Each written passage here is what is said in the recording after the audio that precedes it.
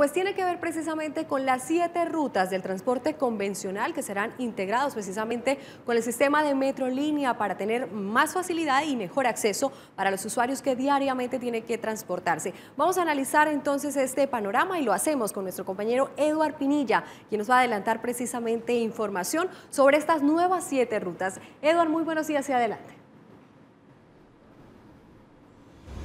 Hola compañeros, buenos días. Hay que decir frente a esta integración que se ha generado entre el transporte colectivo y el sistema de transporte masivo de Metrolínea que es buena. De acuerdo a los reportes que han sido entregados al área metropolitana, pues ha habido bastante afluencia. A la gente le ha gustado, sobre todo en el sector de Bosconia y en el sector del sur, donde también se ha hecho esta integración. Aún más, hay siete pilotos más que están próximos a salir y que, de acuerdo a lo que nos ha informado el área metropolitana, pues son viables, se podrían dar. Estos planes pilotos estarán de aquí hasta el mes de diciembre y se estará estudiando pues la forma para observar cómo se moviliza el transporte, si es bueno, si es viable y si realmente es rentable para los empresarios y al mismo tiempo presta un buen servicio para los usuarios. Se había planeado un periodo de un mes inicialmente para ver eh, estos primeros resultados sobre la aceptación que tuvieron los usuarios a esta nueva posibilidad de movilizarse, principalmente en el sector de Bosconia, en el norte de Bucaramanga, y en el sector de la ladrillera en la cuenca de Provenza.